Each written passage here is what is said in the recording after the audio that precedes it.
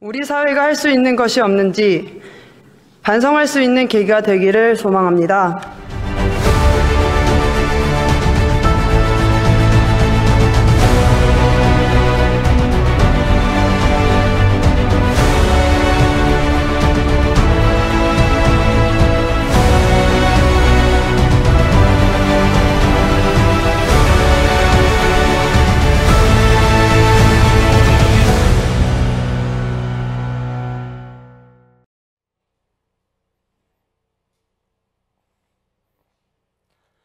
안녕하십니까. 존경하는 국민 여러분, 그리고 당원 여러분, 청년 최고위원 후보 김은희입니다.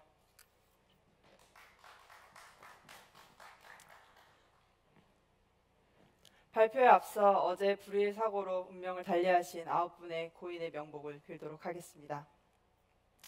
저는 지난 21대 국회에서 5개월 동안 국회, 국회의원을 한 이력밖에 없는 정치 신인입니다. 그래서 많은 분들께서 저를 걱정하고 우려하는 마음에 이번 도전을 만류하기도 했습니다.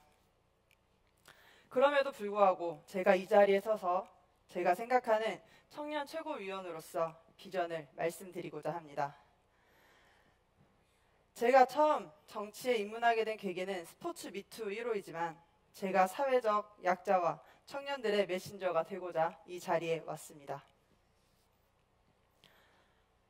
통계청 자료에 의하면 취업하지 않고 쉬고 있는 청년은 40%나 되고 부모와 경제적 자립을 하지 못한 청년도 66%에 육박합니다. 저 또한 그 66%에 포함됩니다. 전세 사기 피해자들은 대부분 대학생, 사회초년생들로 인생에서 가장 중요한 시기에 가장 소중한 기회들을 잃어가며 고통 속에 살아가고 있습니다. 이런 상황에서 국회와 정부는 다양한 방법을 논의하고 있지만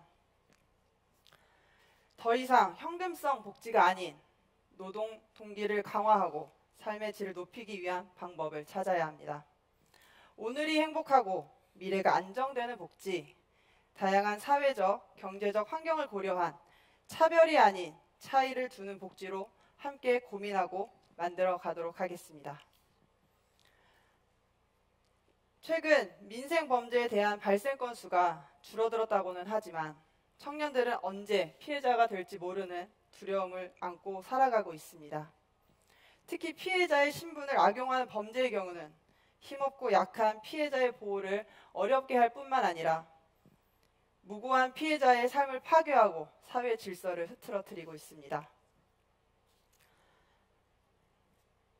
사회적으로 약자인 사회자, 사회적 약자를 안전하게 보호하고 안정적인 회복과 자립을 지원하기 위해서는 인구부 신설과 원스톱 솔루션 센터의 권역별 확대가 꼭 필요합니다.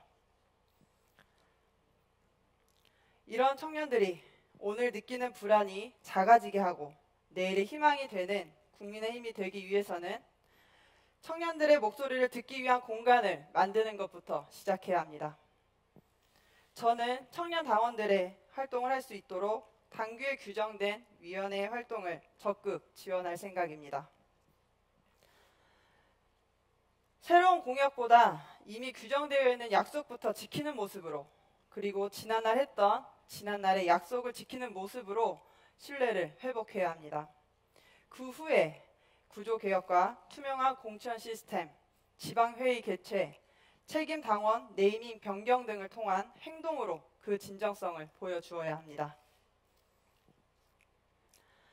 오늘의 이런 저의 목소리가 사회적 약자와 청년들에게 내일의 희망이 될 수 있도록 당원 여러분과 국민 여러분의 많은 관심과 응원 부탁드리겠습니다.